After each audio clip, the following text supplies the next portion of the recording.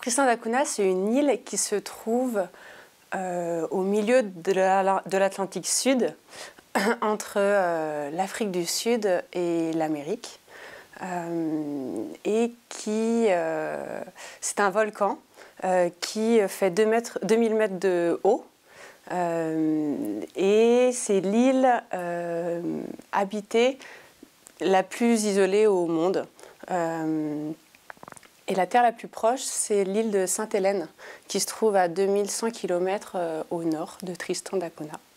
Voilà pour la situation euh, géographique.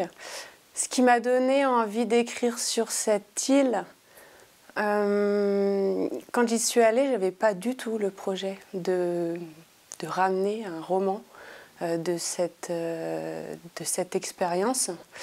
Et j'ai été très surprise de l'intérêt que ça a suscité à mon retour.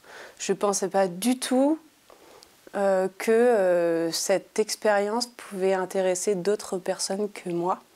Euh, et c'est par l'intermédiaire du voyage qu'on fait à travers mon voyage, quelques proches qui m'ont ensuite montré des dessins, des photographies, de, la correspondance que j'entretenais avec eux, que j'ai vu mon voyage se poursuivre à travers eux. Et, euh, et je me suis dit qu'il y avait peut-être des choses euh, intéressantes là-dedans. Alors, après, euh, pourquoi est-ce qu'on est inspiré par un environnement plutôt qu'un autre? Je pense qu'au-delà de l'île en elle-même, ce qui m'intéressait, mais on le sait qu'après coup, parce que c'est pas en prenant le crayon qu'on qu'on sait exactement ce qu'on va faire exactement. C'est qu'une fois qu'on a posé le crayon, qu'on se dit, d'accord, j'ai compris, euh, j'ai compris ce que je crois que j'avais envie de dire. Et il me semble que ce que j'avais envie de dire, de partager, notamment dans l'écriture et dans la langue en elle-même, c'est la manière dont coexistent deux personnes au sein d'une même personne qui voyage. C'était à travers cette expérience-là, qu'est-ce que c'est finalement pour moi que voyager? Et c'était le dialogue intérieur entre la personne qui est ici, pour le coup cette Ida qui est dans cette île, là, géographiquement, personnellement, mais qui ne sera jamais totalement d'ici, et l'Ida qui est de là-bas. Là-bas, c'est-à-dire pour les insulaires, le continent, ce vaste ailleurs, ce vaste continent.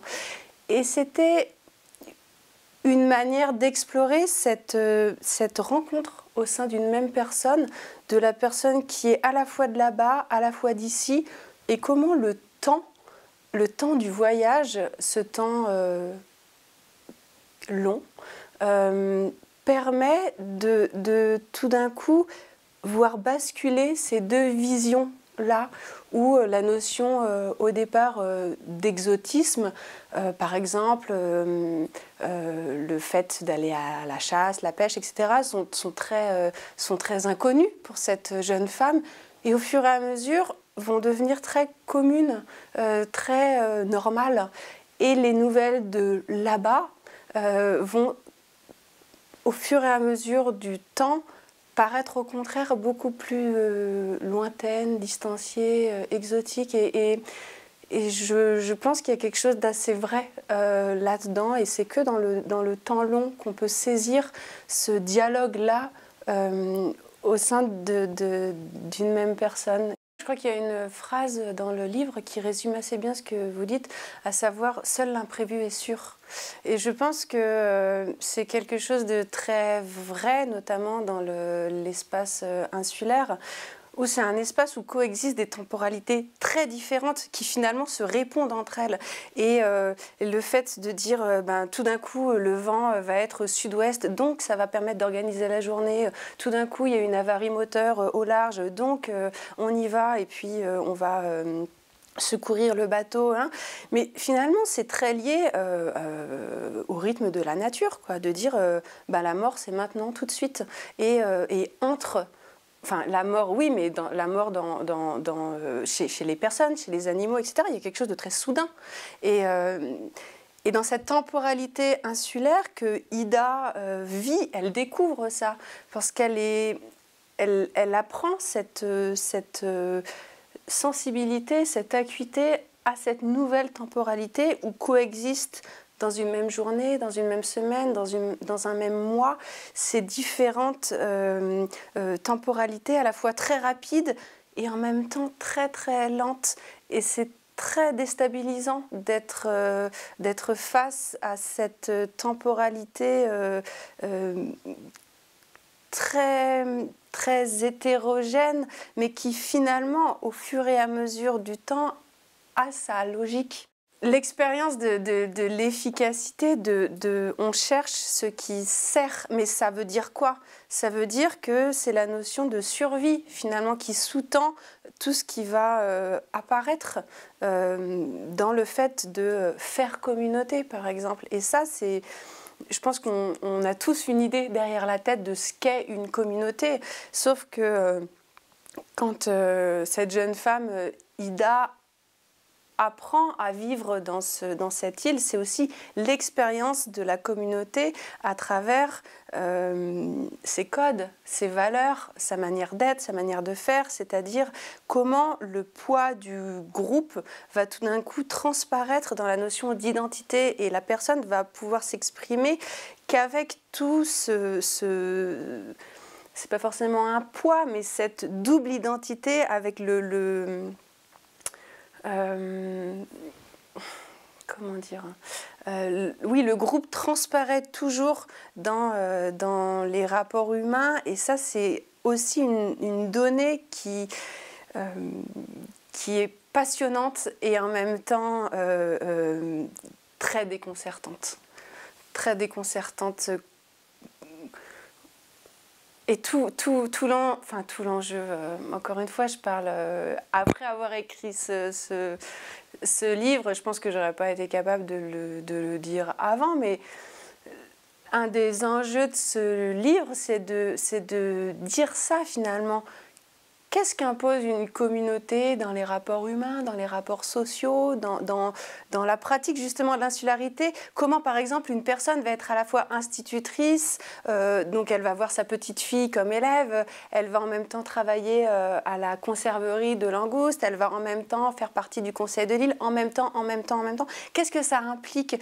Et, et au-delà de ça, c'est un, discours un peu euh, ethnologique. Comment? Parce que il y a peu de littérature finalement sur, sur cette île-là. On pense euh, aussi au Bienheureux de la désolation de, Bazin, euh, qui a fait part de, l'expérience de cette communauté de 61 à 63, quand euh, la totalité des habitants s'est exilée en, Angleterre lors de l'éruption du volcan. Mais il y a surtout des propos assez, au niveau des articles, ce qui paraît, etc., assez grandiloquents, assez spectaculaires, avec énormément de superlatifs, euh, l'île la plus, la plus, la plus, avec le plus de naufrages, le moins de personnes.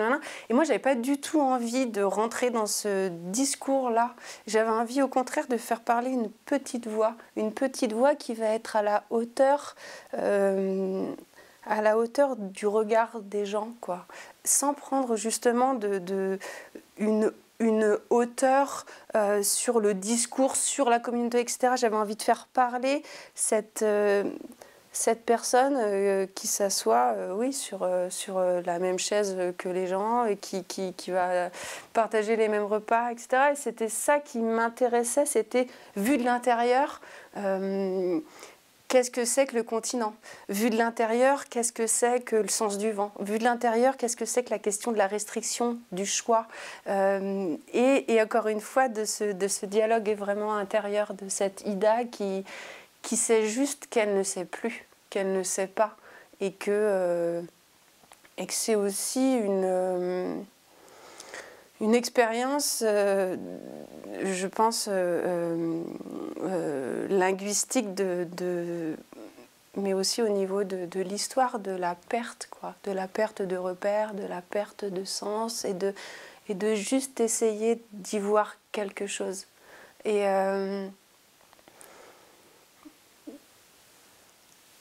Oui, il y a une, phrase de Paul Claudel dans Partage de Midi qui dit euh, Il ne suffit pas de comprendre, il faut perdre connaissance.